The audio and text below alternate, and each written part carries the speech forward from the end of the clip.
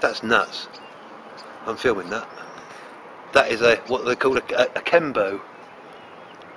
Kind of usually round the sun, but anything that reflects uh, light off, like metallic particles, comes in the cloud there. I mean that. And there's the plane over there. Yeah. Did you see him? I just saw him. A little too light. It might come out of that cloud. There, see? Yes. The little light? No. Sometimes the sun catches it.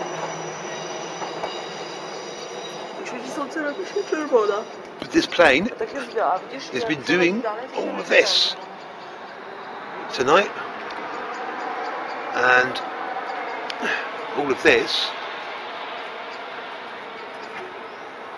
and all of this, leaving all this horrible residue for us and all these lovely chemtrails. Now, we have another plane up there that you can probably see now. Hopefully, I can zoom in. There we go. Now, see, that is a contrail. Yeah? It's a contrail because it vanishes, it dissipates, it doesn't leave anything behind. I know it's crazy, but it's true. And like I said, this is happening all over the world. If you watch this film called What in the World Are They Spraying? Ten. Ludzie każą 2000 było 2100%, a w którym jest 2560. Dodnięcie. See, unfortunately, we're victims. Przez tą bombę. Yeah, t- I, I, Bomba u nas w Polsce. uh, uh, I'll ask you, ask you a question now, right?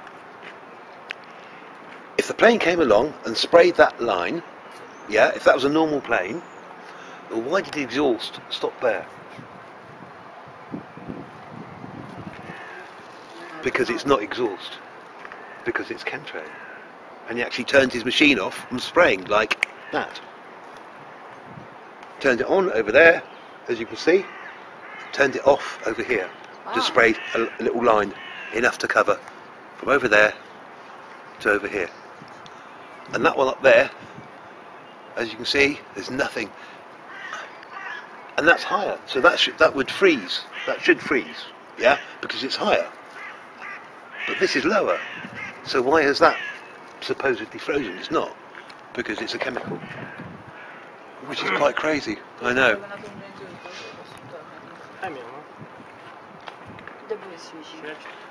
But I'll leave you, my friends, on Facebook, YouTube, wherever you are out there in the world. There is a chemtrail in the shot with a plane flying through it that has a contrail to prove there's a difference. Thank you for watching.